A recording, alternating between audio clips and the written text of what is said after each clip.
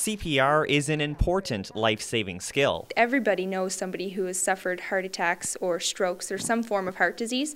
The Heart and Stroke Foundation recently held free CPR classes across Canada. It's part of CPR Month held every November.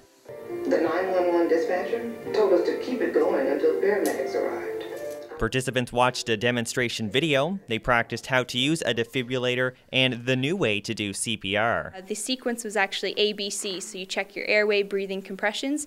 There's more emphasis put on compressions because it's been proven through studies that compressions are the most important, so it's changed to CAB. Carol Webb was one of the participants. She believes that learning CPR and how to use an automated external defibrillator or AED is essential. I think it's important because you never know when you may need to use it, when you may come along, come upon somebody that needs your help and nobody else there to give it.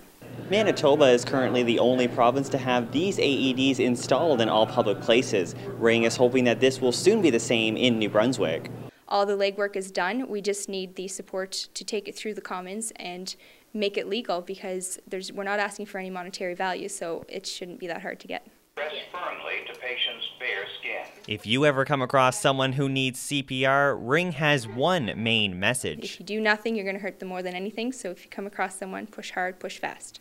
Survival rates can be increased by up to 30% with the use of CPR and an AED. In Fredericton, Brad Perry, Community College News.